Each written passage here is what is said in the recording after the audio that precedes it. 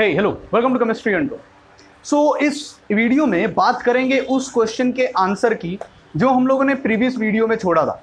और क्वेश्चन ये था, हम वहाँ ये समझने की कोशिश कर रहे थे कि किस तरीके से मैं मेरी पॉपुलेशन का जो रेशियो है या जो मैं कहूँ पॉपुलेशन का जो डेंसिटी है वो लोअर स्टेट में ज़्यादा रख सकूँ और हाइयर स्टेट में कम रख सकूँ। इसका रीज़न ये था कि, मुझे कहीं ना कहीं एक स्टडी एनएमआर सिग्नल चाहिए। मुझे एक कंटिन्यूस एनएमआर सिग्नल चाहिए। Now we all know according to Maxwell distribution law आपके पास अगर सर्टेन अमाउंट ऑफ़ न्यूक्लियाई है और लेटे से मेरे पास एक ऐसा न्यूक्लियाई है जिसका आई का value comes out to be half तो उसके पास दो पॉसिबल ओरिएंटेशन है। या तो वो लोअर एनर्जी स्टेट में रह सकता है जिसको अल्फ़ा कहा जाता है या तो वो हायर एनर्जी स्टेट में रह सकता है जिसको बीटा कहा जाता है। ना वी ऑल नो कि आप जब किसी पर्टिकुलर न्यूक्लियस सैंपल को या पर्टिकुलर सैंपल को जब आप एक मैग्नेटिक फ़ील्ड में रखते हो that is your north pole and that is your south pole तो आपके पास जो न्यूक्लिया होता है according to Boltzmann distribution law जो न्यूक्लियस हैं, वो अपने आप को अरेंज करते हैं इन द मैग्नेटिक फ़ील्ड ना द प्रॉब्लम इज़ कि वहाँ पे थोड़े से न्यूक्लियस एक्सेस होते हैं आपके लोअर एनर्जी लेवल में. फॉर एन एग्ज़ाम्पल अगर मेरे पास दस न्यूक्लिया हैं तो 10 में से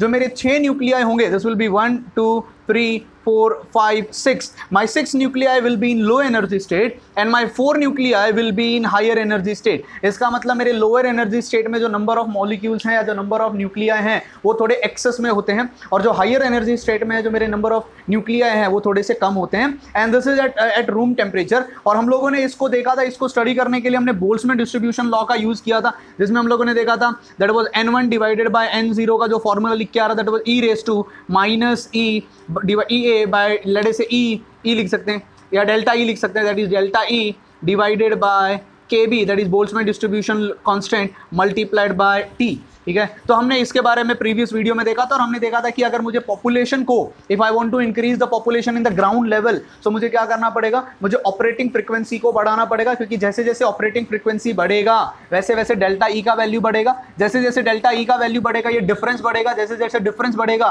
the probability of nuclei in the lower energy state will increase तो मेरे ज़्यादा ज़्यादा ज़्यादा न्यूक्लिया जो होंगे, वो लोअर एनर्जी स्टेट में होंगे, ठीक है?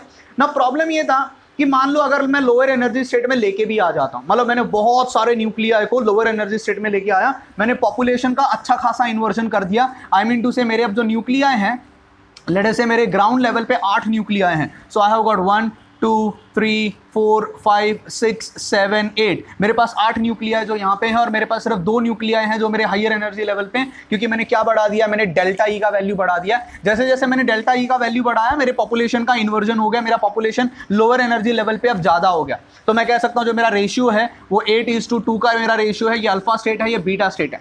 ना द प्रॉब्लम इज़ कि ठीक है, चलो आपने कर दिया। अब आप यहाँ पे रेडियो फ्रिक्वेंसी डालोगे, आपके पास यहाँ पे आपके जो न्यूक्लिया हैं, वो most of the nuclei are aligned with the field ठीक है? आपके पास आठ nuclei with the field align हो गए, और सिर्फ़ दो न्यूक्लिया हैं जो अभी भी अगेंस्ट द फ़ील्ड खड़े हुए हैं, ठीक है? This is what is the physical interpretation ना यहाँ पे मैंने चार ही बनाया, आप चार और इमेजिन कर सकते हो, ठीक है? You can imagine four more over here ठीक है one two three four five six seven eight तो आठ न्यूक्लिया जो है, वो विद द फ़ील्ड है और दो न्यूक्लिया अगेंस्ट द फ़ील्ड है। ना इससे होता क्या है? इससे सिर्फ़ फ़र्क ये पड़ेगा कि आप जैसे ही इसके ऊपर रेडिएशन डालना स्टार्ट करोगे इलेक्ट्रोमैग्नेटिक रेडिएशन जो कि रेडियो वेव फ्रिक्वेंसी का होगा दैट इज़ रेडियो वेव ठीक है? रेडियो वेव फ्रीक्वेंसी का, जब आप इसके ऊपर रेडिएशन डालोगे लोअर एनर्जी स्टेट के जो मॉलिक्यूल्स हैं, वो एब्जॉर्प्शन करेंगे और हाइयर एनर्जी स्टेट में चले जाएँगे। जैसे मान लो, पहला वाला मेरा जो मॉलिक्यूल है, उसका जो न्यूक्लियर पहला वाला न्यूक्लियर है, वो अब हाइयर एनर्जी स्टेट में चला गया। ओके मेरा दूसरा वाला भी जो है, वो हाइयर एनर्जी स्टेट में चला गया। मेरा तीसरा वाला भी है, जो भी हाइयर एनर्जी स्टेट में चले गया। अब आप अगर देखते हो, यहाँ पे एनर्जी स्टेट में आ गया। इफ़ यू लुक केयरफुली थोड़ी देर के बाद होगा ये कि आपके number of nuclei in lower energy state will be exactly equal to number of nuclei in higher energy state और जब एक ऐसी कंडीशन आ जाती है जहाँ पे आपके number of nuclei in lower energy state is exactly equal to number of nuclei in higher energy state हम उसको कहते हैं कि एनएमआर में सेचुरेशन आ गया। सो so, इस वर्ड को ध्यान से याद रखना। इस वर्ड को कहा जाता है सेचुरेशन ठीक है?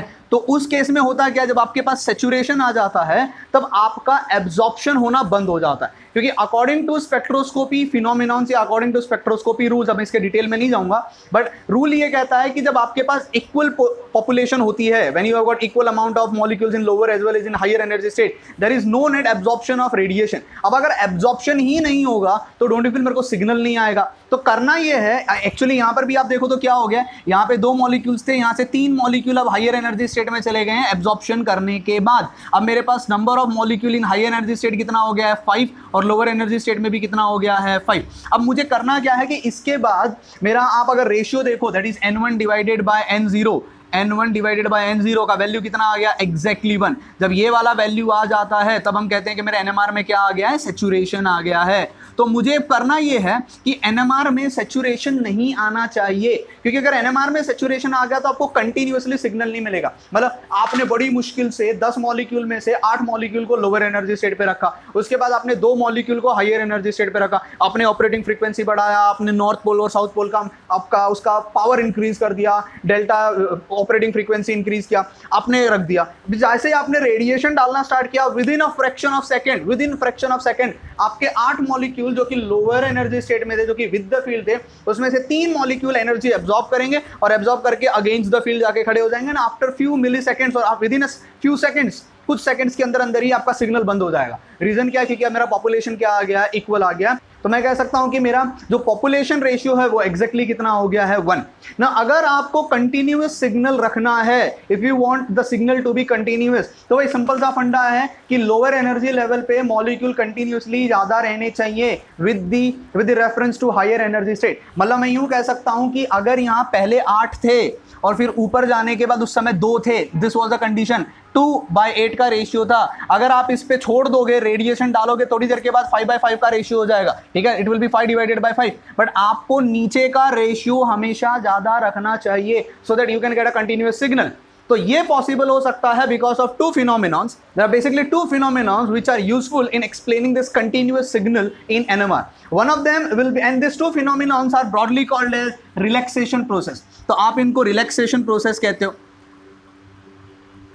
Relaxation process. Now, relaxation process are basically of, what basically do you mean by a relaxation process? Now relaxation process basically मतलब ये होता है कि अगर आपके पास एक पॉपुलेशन इन्वर्जन है और पॉपुलेशन मान मान लो आपके पास नीचे की तरफ़ जो है वो आठ मॉलिक्यूल्स हैं और ऊपर की तरफ़ आपके पास सिर्फ़ दो मॉलिक्यूल्स हैं।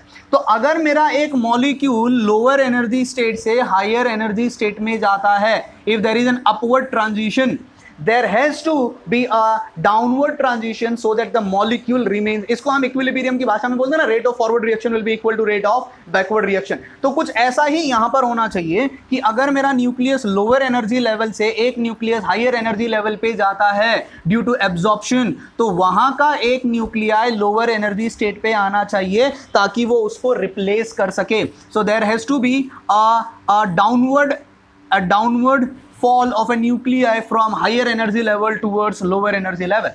Now, the problem is it has to be very spontaneous. ये बहुत spontaneous होना चाहिए। भाई, ऐसा नहीं होना चाहिए कि मेरा न्यूक्लियर एब्जॉर्ब करके ऊपर चला गया, पहला चला गया, फिर दूसरा चला गया, फिर तीसरा चला गया और उसके बाद ऊपर से कोई एक बंदा नीचे आ रहा है। Relaxation process should be very spontaneous क्योंकि जितना स्पॉन्टेनियस वो रिलैक्सेशन प्रोसेस होगा, उतना ज़्यादा या उतने जल्दी मेरा जो जो न्यूक्लिया है, जो लोअर एनर्जी लेवल पे है, उसका पॉपुलेशन मेंटेन रहेगा।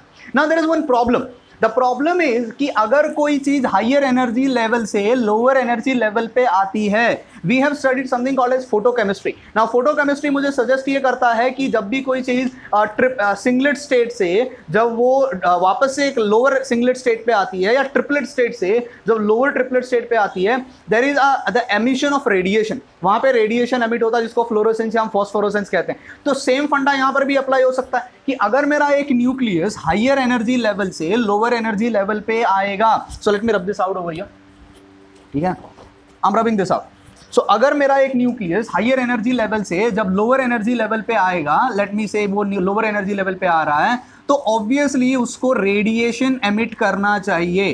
तो रेडिएशन आना चाहिए। It should be a radiation का एमिशन बट एक्चुअली यहाँ पे रेडिएशन का एमिशन नहीं होता है, जबकि होना चाहिए। इसका सिंपल रीजन ये है कि रेडिएशन जिसको हम कह सकते हैं कि भाई जो एमिशन मेरा होगा, वो रेडिएशन वाला एमिशन होगा कि रेडिएशन लेस एमिशन होगा, वो डिपेंड करता है कि फ्रीक्वेंसी कितना था। Like at what frequency the absorption took place so I can say the probability probability of of radiation of radiation relaxation ठीक है? Of radiation relaxation will be directly proportional to the frequency का cube it's the is the cube of frequency पे वो depend करता है. सो so indirectly मैं कह सकता हूँ, वो डिपेंड करता है फ्रीक्वेंसी पे. तो जितना ज़्यादा फ्रीक्वेंसी का एब्जॉर्प्शन हुआ होगा, उतना ज़्यादा चांसेस है कि जब वो हायर एनर्जी लेवल से लोअर एनर्जी स्टेट पे आएगा तो वो रेडिएशन एमिट करेगा. फॉर एग्ज़ाम्पल अगर मान लो यहाँ पे radio wave radio wave spectrum में एब्जॉर्प्शन ना होके, अगर वो वो यूवी में हुआ होता या एक्सरे में हुआ होता या गामा रे में हुआ होता, जहाँ पर आपके पास, आपके जो रेडिएशन का एब्जॉर्प्शन जो हुआ है, उस रेडिएशन का फ्रीक्वेंसी बहुत हाई होता है। तो अगर एब्जॉर्प्शन करने वाली रेडिएशन का फ्रीक्वेंसी हाई था, और अगर मैं एब्जॉर्प्शन करके लो एनर्जी से हाई एनर्जी स्टेट पे गया हूँ तो चांसेस है कि जब मैं हाई एनर्जी स्टेट से लो एनर्जी स्टेट में आऊँगा तो मैं जो एमिट करने वाला हूँ, वो भी रेडिएशन ही होगा। बट अगर मैं जिस रेडिएशन को एब्जॉर्ब करके लोअर एनर्जी स्टेट से हाइयर एनर्जी स्टेट पे गया हूँ, अगर वो रेडिएशन का फ्रीक्वेंसी कम है तो मैं जब हाइयर एनर्जी स्टेट से लोअर एनर्जी स्टेट पे आऊँगा, तब मैं रेडिएशन एमिट करूँगा। इसका चांसेस बहुत कम है, ठीक है? So I can see the probability of radiation relaxation varies with the cube of your frequency. Now since हम लोग यहाँ पे बात कर रहे हैं रेडियो वेव के साथ, और रेडियो वेव का जो फ्रीक्वेंसी होता है, वो बहुत ही कम होता है। तो ये कहना कि वहाँ पे रेडिएशन वाला रिलैक्सेशन प्रोसेस होगा, ये बड़ा डिफ़िकल्ट है। तो हम लोग यहाँ पे कहते हैं कि यहाँ रेडिएशन वाला रिलैक्सेशन प्रोसेस नहीं होता है। यहाँ पे कौन सा रिलैक्सेशन प्रोसेस होता है? It is radiationless radiationless relaxation now what do mean by radiationless इसको थर्मल रिलैक्सेशन कह सकते हैं कि भाई आप जब तुम हायर एनर्जी लेवल से लोअर एनर्जी लेवल पे आओगे you know heat has got various form heat can be emitted in the form energy has got various form energy can be in the form of heat energy can be in the form of radiation तो यहाँ पे radiation के form में ना आके वो किसके form में बाहर निकलेगा? It will be in the form of heat I hope आपको समझ में आया। तो अब अगर मेरा एक न्यूक्लियस लोअर एनर्जी लेवल पे है, और अगर वो हायर एनर्जी लेवल पे अगेंस्ट द फ़ील्ड चला गया है, और अब अगर उसको रिलैक्सेशन करके वापस आना है like from higher energy level अगर उसको लोअर एनर्जी लेवल पे आना है तो जो हाई अमाउंट ऑफ़ एनर्जी उसके पास थी, वो उसको एमिट करने की कोशिश करेगा। पर जब वो एमिट करेगा तो वो फोटोन या इलेक्ट्रोमैग्नेटिक रेडिएशन के फॉर्म में नहीं एमिट करेगा। It will be emitted in the form of heat और इसको कहते हैं रेडिएशन लेस एमिशन इसको आप जब आप जब फ़ोटो केमिस्ट्री पढ़ोगे ना तो आप इसको फ़ोटो केमिस्ट्री में भी देखोगे कि फ़ोटो केमिस्ट्री में भी we have got two types of radiation one radiation will be called as रेडिए one emission will be called as radiation का एमिशन जिसमें फ्लोरोसेंस और फॉस्फोरोसेंस होता है. And one of the emission is radiationless emission जिसमें सिर्फ़ thermal relaxation होता है. Like आपका जो एनर्जी है, वो थर्मल एनर्जी के फॉर्म में बाहर निकल जाता है और आप हाइयर एनर्जी लेवल से लोअर एनर्जी लेवल पे आ जाते हैं. Now the same phenomenon occurs over here तो मैं कह सकता हूँ कि यहाँ पे जो थर्मल रिलैक्सेशन होगा, या मैं कह सकता हूँ यहाँ पे जो जो radiation less radiation radiation less relaxation जो होगा, वो दो कैटेगरी में डिवाइडेड है। जो पहली कैटेगरी में डिवाइडेड है, उस कैटेगरी को कहा जाता है spin spin lattice relaxation spin lattice relaxation और दूसरी कैटेगरी को कहा जाता है spin spin relaxation.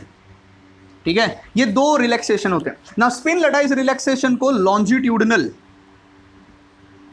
Longitudinal relaxation भी कहा जाता है और इसको ट्रांसवर्स रिलैक्सेशन भी कहा जाता है। ना एक और चीज़ पे ध्यान से सुनना। अगर मेरा एक मॉलिक्यूल लोअर एनर्जी स्टेट से हायर एनर्जी स्टेट में जाके जब वो वापस से लोअर एनर्जी स्टेट में आता है the the amount of time वो हाई एनर्जी स्टेट में स्पेंड करता है, उसको हम लोग कहते हैं कि वो कितनी देर तक वहाँ पे था और कितना टाइम उसको लगता है हायर एनर्जी स्टेट से लोअर एनर्जी स्टेट में आने के लिए उसको रिलैक्सेशन टाइम कहा जाता है। और अगर वो स्पिन लटाइज रिलैक्सेशन है तो हम लोग उसको लिखेंगे टी वन के साथ। और अगर वो स्पिन स्पिन रिलैक्सेशन है तो हम उसको लिखेंगे टी टू के साथ। ना क्वेश्चन ये उठता है कि स्पिन लटाइज रिलैक्सेशन क्या होता है? और क्वेश्चन ये उठता है कि स्पिन स्पिन रिलैक्सेशन क्या होता है? चलो समझने की कोशिश करते हैं इसको। तो स्टार्ट करते हैं सबसे पहले रिलैक्सेशन के साथ, जिसको कहा जाता है स्पिन लटाइस रिलैक्सेशन, या जिसको कहा जाता है लॉन्जिट्यूडनल रिलैक्सेशन। नाउ देखो, जब हम एक सैंपल लेते हैं तो वो सैंपल के अंदर कभी भी एक न्यूक्लियाई नहीं होता। It is got it is got millions and millions of nuclei जब हमारे पास एक सॉलिड स्टेट का एक सैंपल होता है तो हम सबको पता है कि सॉलिड स्टेट में जो हमारा यूनिट सेल होता है और यूनिट सेल रिपीट करता है and what we get something is called as a lattice so ये जो स्पिन लेटाइस रिलैक्सेशन का नाम है, ये वहीं से आता है कि ट्रेडिशनली या जो पहले के लोग होते थे, जब एनएमआर करते थे they use to do it on solid sample और जब वो सॉलिड सैंपल पे करते थे तो हम उसको क्या बोलते थे? लटाइस बोलते थे. तो ये कहीं ना कहीं नाम वहाँ से आया. Now what basically do you mean by spin lattice relaxation तो सपोज़ करो you have got many nuclei आपके पास यहाँ पे बहुत सारे न्यूक्लिया हैं। और बहुत सारे न्यूक्लिया में से बहुत सारे न्यूक्लिया ऐसे भी हैं जो शायद लोअर एनर्जी स्टेट में विद द फ़ील्ड है। लेट मी से यहाँ पे मेरे पास नॉर्थ पोल है और यहाँ पे मेरे पास साउथ पोल है। And there are few nuclei which are against the field क्योंकि वहाँ पे पॉपुलेशन जो है वो लोअर एनर्जी स्टेट पे ज़्यादा होनी चाहिए एंड हायर एनर्जी स्टेट पे कम होनी चाहिए। ना सपोज़ करो यहाँ से मेरा एक न्यूक्लिया एनर्जी एब्जॉर्ब करता है और एनर्जी एब्जॉर्ब करने के बाद लेट से अगर वो हायर एनर्जी स्टेट पे चला जाता है तो पॉपुलेशन में जो डिफरेंस है वो चेंज हो गया है। ठीक है? क्योंकि अब मेरे हाइयर एनर्जी स्टेट में मॉलिक्यूल ज़्यादा हो गए और लोअर एनर्जी स्टेट में मेरे न्यूक्लियाई कम हो गए। सो so, यहाँ पर होना क्या चाहिए? यहाँ पे रिलैक्सेशन प्रोसेस होना चाहिए। अगर रिलैक्सेशन प्रोसेस नहीं होगा तो I will not be getting an NMR signal तो होता क्या है कि जब आपके पास सैंपल्स होते हैं you have got so many samples it's a crowd बहुत ज़्यादा मैस होता है उस सैंपल के अंदर। You have got millions and millions of nuclear over that now molecules whenever they are present in a sample ऐसा नहीं होता है कि मॉलिक्यूल जो होंगे वो स्टेशनरी खड़े होते हैं। वी ऑल नो कि सॉलिड स्टेट में भी कहीं ना कहीं उनमें वाइब्रेशन होता है। अगर वो लिक्विड स्टेट में है तो भैया वाइब्रेशन बहुत ज़्यादा होगा। There will be an vibration और oscillation of a molecule as well as there will be rotational motion of a molecule हम लोगों ने रोटेशनल वाइब्रेशनल स्पेक्ट्रोस्कोपी पढ़ी है। अगर वो गैशियस स्टेट में है, फिर तो बात ही बहुत अलग है। वहाँ पे तो वाइब्रेशनल और रोटेशनल स्पेक्ट्र जो मोशन होगा, वो बहुत ज़्यादा होगा। तो मानो अगर मेरे पास एक न्यूक्लिया यहाँ पर है, और ये न्यूक्लिया अब हाइयर एनर्जी स्टेट में है, और ये न्यूक्लिया वहाँ पे प्रिसीजन कर रहा है और उसका प्रिसीजन करने का कुछ तो फ्रीक्वेंसी है और मैं उसके प्रोसिजनल फ्रीक्वेंसी को ओमेगा नोट के साथ डिनोट करता हूँ। ओमेगा नोट का मतलब होता है precessional frequency and we all have studied what do you mean by basically precessional frequency अब प्रॉब्लम ये है कि मेरे पास बाजू में, मेरे पास साइड साइड में और भी बहुत सारे न्यूक्लिया हैं। वो न्यूक्लिया वहाँ पर मे बी वाइब्रेशनल मोशन कर रहे होंगे। वो ऐसे ऐसे जिग्जैग मोशन में घूम रहे होंगे। Like they are not stationary at a place they are doing precession वो भी प्रिसीजन कर रहे हैं। यहाँ पर प्रेजेंट हर न्यूक्लिया प्रिसीजन कर रहा है। Every nuclei is doing a precession the only difference is along with the precession they all are doing vibrational as well as rotational motion now whenever they are doing a vibrational and a rotational motion the frequency of vibrational motion or rotational motion when matches with the Larmor frequency which is also called as frequency of of precision अगर वो Larmor frequency के साथ match हो जाती है, यानी जिस speed के साथ मेरा न्यूक्लियस प्रिसीजन कर रहा है, अगर उसका फ्रीक्वेंसी और मेरे साइड में अगर एक न्यूक्लिया है डजेंट मैटर वो न्यूक्लिया हायर एनर्जी लेवल पे है कि वो न्यूक्लिया लोअर एनर्जी लेवल पे, यानी वो अल्फ़ा स्टेट में है कि बीटा स्टेट में अगर मेरे साइड में एक न्यूक्लिया है और अगर वो वाइब्रेशन कर रहा है, उसके वाइब्रेशन या रोटेशन करने का frequency if matches with the precessional frequency of me my self उस समय होता क्या है? उस समय मैं अपनी एनर्जी को उसको ट्रांसफ़र करूँगा and I will transfer back to the lower energy state और उसका रोटेशनल और वाइब्रेशनल लेवल का एनर्जी का लेवल बढ़ जाएगा। मतलब जो मेरा न्यूक्लियस यहाँ पर है, वो अपना एनर्जी मान लेते हैं कि ये जो न्यूक्लिया यहाँ पे है, इसका इसका वाइब्रेशनल फ्रीक्वेंसी जो है वाइब्रेशन ऑसिलेशनल फ्रीक्वेंसी इसके लार्मर फ्रीक्वेंसी से मैच करता है तो ये न्यूक्लिया अपना एनर्जी इसको ट्रांसफ़र करेगा which will be a thermal energy transfer और ये मेरा न्यूक्लिया जो है, अब उसके बाद कहाँ चले जाएगा, ये फिर से मेरा लोअर एनर्जी स्टेट पर आ जाएगा।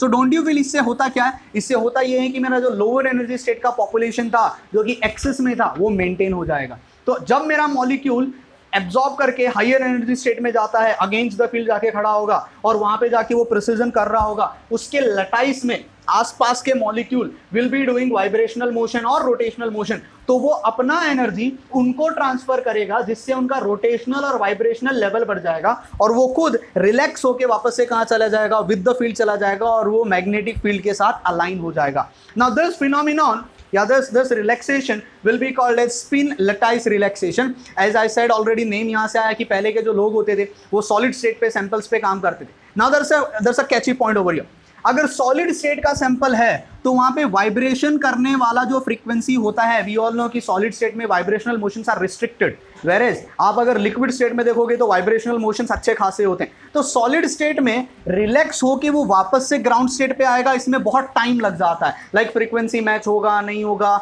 मे बी क्योंकि बहुत स्लो वाइब्रेशन हो रहा होता है। सो so मैं कह सकता हूँ कि अगर सॉलिड स्टेट में वो है तो सॉलिड स्टेट में उसका जो टाइम पीरियड होगा रिलैक्सेशन का, वो थोड़ा सा हाई होता है। सिंस वहाँ सॉलिड स्टेट में टाइम पीरियड वहाँ बहुत हाई होता है, इसलिए हम लोग कहते हैं कि वहाँ पे रिलैक्सेशन इज़ क्वाइट स्लो ठीक है? वहाँ काफ़ी स्लो होती है। वेरेज आप अगर लिक्विड स्टेट में देखोगे तो लिक्विड स्टेट में वाइब्रेशन आर क्वाइट हाई मतलब वहाँ पे वाइब्रेशन बहुत ज़्यादा होते हैं और अच्छी खासी फ्रिक्वेंसी में अलग। अब देखो, एक और चीज़ मैं आपको बताता हूँ। अगर मैं एक न्यूक्लिया हूँ जो अगेंस्ट द फ़ील्ड खड़ा हूँ और मेरे आसपास में लाखों न्यूक्लिया हैं, ज़रूरी नहीं है कि हर न्यूक्लिया का वाइब्रेशन करने का फ्रिक्वेंसी मुझसे मैच होगा। There will be very very few nuclei जिनका वाइब्रेशन करने का फ्रीक्वेंसी यानी oscillational frequency may match with my my Larmor frequency and when it does matches मैं अपना एनर्जी ट्रांसफ़र कर दूँगा। तो ऐसा नहीं होगा कि मैं हाई एनर्जी पे गया ओ वाओ एनर्जी ले लो I am in ground state it do take some sort of time इसको थोड़ा सा टाइम लगता है। अगर ये लिक्विड स्टेट में है तो टाइम कम लगेगा। यानी मैं कह सकता हूँ कि लिक्विड स्टेट में रिलैक्सेशन टाइम जो होता है, वो बहुत ही कम होता है। यानी फटाक से रिलैक्सेशन प्रोसेस होता है। वॉट अगर गैशियस स्टेट में हो? तो याद रखना, जैसे ही एम्पलीट्यूड बढ़ जाता है वाइब्रेशन करने का when the amplitude of vibration increases again the time period will again increase. The reason क्या है? Reason ये हो जाता है कि अगर बहुत ज़्यादा मॉलिक्यूल को आपने फ्रीडम दे दिया है तो वो मॉलिक्यूल बहुत ज़्यादा फ्रीक्वेंसी के साथ अगर वाइब्रेट कर रहा होगा तो प्रोबेबिलिटी बहुत कम होती है कि मेरी लार्मर फ्रीक्वेंसी के साथ उसका उसका रेजोनेंस होगा। क्योंकि then I will be getting a broad spectrum आप समझने की कोशिश करो, अगर सॉलिड स्टेट में है तो मॉलिक्यूल जो होगा वो कम फ्रीक्वेंसी के साथ वाइब्रेट करेगा, तब भी प्रॉब्लम है। प्रॉब्लम तब ये है कि मेरे साथ वो मैच नहीं होगा। अगर लिक्विड स्टेट में है तो परफेक्ट है, क्योंकि लिक्विड स्टेट में ना बहुत ज़्यादा फ्रीक्वेंसी से वाइब्रेट करेगा या ऑसिलेट करेगा, ना बहुत कम फ्रीक्वेंसी पर अगर गैशियस स्टेट में है तो I will be seeing molecules are vibrating with different different क्योंकि अब उनके पास फ्रीडम है। फ्रीडम किस चीज़ का है? वो किसी भी फ्रीक्वेंसी के साथ ऑसिलेट या सर्कुलर ऑसिलेट या रोटेशनल मोशन कर सकते हैं। आई होप आपको समझ में आ रहा है। So this will again create a problem for me. So the best condition for recording an NMR signal according to me would be in liquid state पे जो आपका आपका रिलैक्सेशन टाइम होगा वो काफ़ी काफ़ी उत, उतना होगा जितना हमको उसका चाहिए सॉलिड स्टेट में रिलैक्सेशन टाइम हाई होगा गैशियस स्टेट में फिर से रिलैक्सेशन टाइम जो होगा जाएगा वो क्या हो जाएगा high it will be only in liquid state that the relaxation time will be optimum जितना हमको चाहिए था Now this is all about relax spin lattice relaxation.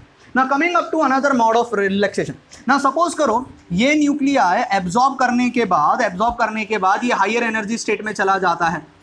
ठीक है? और ये हायर एनर्जी स्टेट में जाने के बाद लड़े से एकदम बहुत हाई एनर्जी के साथ वहाँ पे वो प्रिसीजन कर रहा है। और उसके साइड में एक ऐसा न्यूक्लिया है जो शायद लोअर एनर्जी स्टेट में है, और वो लोअर एनर्जी स्टेट में रह के प्रिसीजन कर रहा है। अब हो ये सकता है कि इन दोनों का आपस में इंटरेक्शन हो सकता है, और ये अपना एनर्जी उसको ट्रांसफ़र कर देगा, और खुद कौन से स्टेट में चला जाएगा? ये खुद चला जाएगा लोअर एनर्जी स्टेट में, और इस वाले बंदे को किसमें भेज देगा? इसको भेज देगा हायर एनर्जी स्टेट में। ना इस फिनोमिनॉन में होता यह है कि पॉपुलेशन पे एच चेंज नहीं आता। There no net change in the population क्योंकि पहले जितना था, उतना ही बाद में। बस यहाँ पे होता क्या है कि हाइयर एनर्जी स्पिन वाला मॉलिक्यूल अगर अपने आसपास किसी लोअर स्पिन वाले को देखता है तो अपना एनर्जी ट्रांसफ़र उसको करता है। ट्रांसफ़र करने के बाद खुद लोअर पे चला जाता है और सामने वाले को हाइयर पे भेज शायद इसीलिए इसका नाम रखा जाता है स्पिन स्पिन रिलैक्सेशन मतलब one spin is getting relax and the other spin is getting excited spin spin relaxation से पॉपुलेशन के रेशियो को मेंटेन करने में एच सच कोई कोई इफ़ेक्ट नहीं आता बट हम इससे ये कह सकते हैं कि आपका जो रिलैक्सेशन टाइम है मेरे न्यूक्लियस का, वो वो कम हो जाता है। क्योंकि जैसे ही मैं हाई एनर्जी स्टेट में खड़ा हूँ आई गॉट टू ऑप्शन या तो मैं, मेरा एनर्जी ऐसे न्यूक्लियस को दे देता हूँ, जो, जिसका वाइब्रेशनल और रोटेशन करने का फ्रीक्वेंसी मुझसे मैच हो। या फिर आई गॉट सेकंड ऑप्शन मैं मेरे बाजू में एक ऐसे न्यूक्लियर को देखता हूँ जो शायद लोअर एनर्जी स्पिन में है. He is with the nuclear मैं अपना एनर्जी उसको दे दूँगा और मैं with the with the field हो जाऊँगा and he will be against the field now this is one one one probability. The other probability is i will search for a nuclei जो वो वाइब्रेशनल मोशन कर रहा होगा या rotational motion कर रहा होगा, जिसका फ्रीक्वेंसी मेरे लार्मर फ्रीक्वेंसी से मैच होगा. Now I have got two options तो अगर मान लो मुझे ऐसा कोई न्यूक्लियर नहीं मिलता है जो शायद मेरे साथ उसका वाइब्रेशनल रोटेशनल फ्रिक्वेंसी मैच हो तो आई हैव सेकंड ऑप्शन मैं इसको ट्रांसफ़र करके चले जाऊँगा। इससे होता क्या है? इससे मेरा हायर एनर्जी स्टेट में रहने का टाइम कम हो जाता है और जिसकी वजह से I will be transferring back again to the lower energy state and the NMR signal will be continuous मुझे उम्मीद है इस वीडियो से आपको रिलैक्सेशन प्रोसेस समझ में आया। And what exactly is the need for relaxation process the mathematical part regarding longitudinal and transfers I am not taking in this video probably will be saying it later on in some other video जहाँ पे मैं